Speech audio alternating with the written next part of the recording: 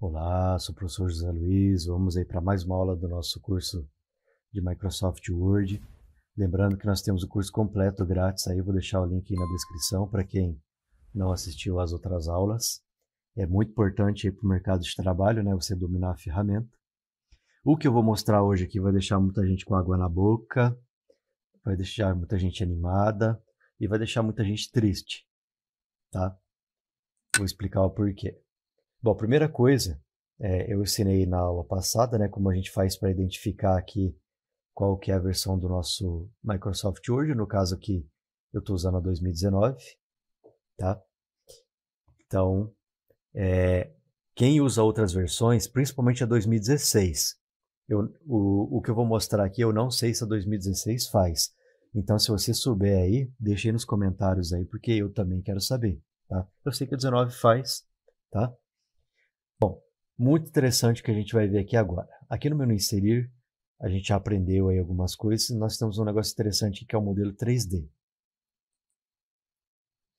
O modelo 3D, quando ele surgiu, ele tinha pouca coisa. Hoje ele já está com muitas coisas prontas, olha. Tem muita coisa interessante aqui. Vou escolher aqui um modelo, por exemplo, ó, pegar aqui.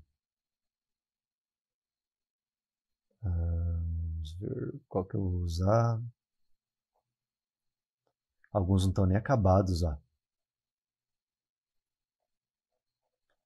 pegar um acabado aqui, ó. Esse, por exemplo.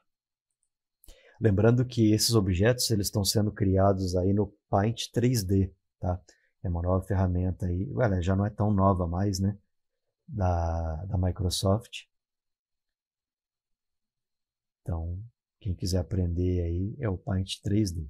Ele demora um pouquinho para inserir porque é um documento, né, relativamente pesado. Parece uma imagem normal olhando assim, né? Mas se a gente vir aqui nela, a gente consegue ver aqui todos os ângulos dessa imagem. Olha que interessante. Arrastar para onde eu quero também, né? Eu vou trazer, eu vou, eu vou deletar essa aqui. Quero colocar uma nova. Lá no inserir, modelos 3D, modelos em estoque. Aí eu vou pegar aqui, por exemplo, animais. Vamos pegar aqui. vou pegar o dinossauro aqui, ó. Bom, lembrando que quando a gente faz a impressão, né? Eu vou falar isso, vocês vão ficar bravos comigo, mas eu vou falar isso aí porque já teve gente que me perguntou isso. Então, se imprimir o modelo 3D, não vai sair em 3D. Para sair em 3D, aí você tem que ter uma impressora 3D, aí sim. Ó, por exemplo, se eu tivesse uma impressora 3D aqui, eu conseguiria imprimir esse dinossauro aqui. Aí eu escolhi que tamanho que ele ia ser, né? Eu ia conseguir fazer ele numa impressora 3D. Então, olha que interessante, né? Para quem tem impressora, né? Hoje em dia ela não está tão cara, tem alguns, alguns modelos baratos aí. Você consegue imprimir isso aqui para ter o modelo 3D na sua casa. Muito bacana. Então, olha só, eu consigo ver ele aqui em todos os ângulos, ó. assim como eu mostrei ele da casa, né? Olha que interessante isso aqui, ó. Eu vou diminuir um pouco o tamanho aqui para dar para entender melhor, ó. Ctrl C e Ctrl V, dupliquei. Eu consigo alterar o ângulo aqui, ó. Ctrl C e Ctrl V, Olha que interessante. Então, dá para fazer algum tipo de montagem aqui. Dá para mim fazer aqui como se fossem dois, né, meio querendo brigar. Posso colocar esse aqui mordendo o outro ali, ó. Então dá para inventar um monte de coisa aqui usando essa ferramenta. Outra coisa também, quando eu clico aqui nele, ele libera aqui para mim modelo 3D, onde eu posso pegar os ângulos prontos que já tem aqui, posso colocar um texto, posso mexer na posição, quebra de texto, recuar, avançar. Por exemplo, quero que esse aqui vá para trás. Então, mando recuar, quero trazer ele para frente, avançar, coisa que vocês já sabem, né? Isso aqui é interessante também, ó, que é a panorâmica. Ele vai incluir essa ferramenta aqui para gente, ó. Então, ó, eu quero dar um zoom aqui na, na boca dele. Ó.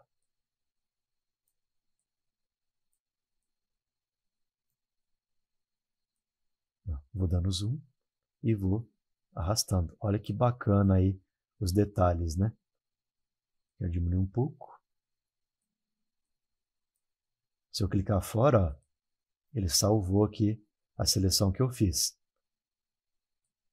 Se eu quiser, eu posso entrar lá, e editar de novo, né?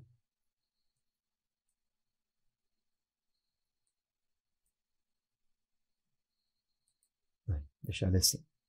Então, olha que interessante, né? Muito bacana a ferramenta, dá para brincar bastante aqui com ela. Quem tem criatividade aí também pode inventar coisas diferentes, né?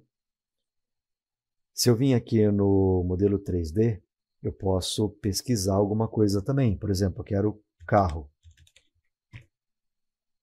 Olha aí, tem aí uma infinidade né, de modelos. Eu não vou mostrar tudo, né? Porque é muita coisa.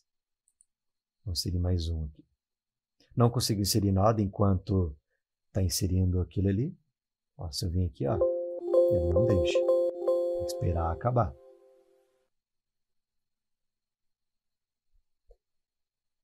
Ou seja, qualquer tipo de trabalho que você está fazendo aqui, você pode inserir um modelo 3D. Você está fazendo um texto, você está fazendo algum tipo de trabalho, algum tipo de contrato, você pode colocar a ferramenta 3D em tudo aqui, né? Um objeto 3D, né? Em tudo. Olha que bacana. Então, como eu falei, você pode vir aqui no menu inserir e pode pesquisar aqui direto o que você quiser. E como eu, eu falei também, ó, esse de anatomia, ó, se eu fazer um trabalho de anatomia, por enquanto tem pouco, ó, mas já dá para brincar um pouquinho aí também. Ó. ó. o cara que vai fazer uma apresentação aí, ah, do dente, por exemplo. Muito interessante, que daí você consegue aí mostrar vários ângulos né, no mesmo trabalho. Então, muito bacana. Olha lá.